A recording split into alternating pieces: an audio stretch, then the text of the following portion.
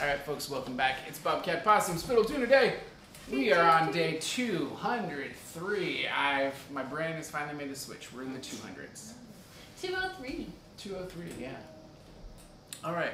Well, uh, we're gonna play a tune called "Greasy Coat" from uh, Edden Hammons, I believe. There's lots of good versions out there.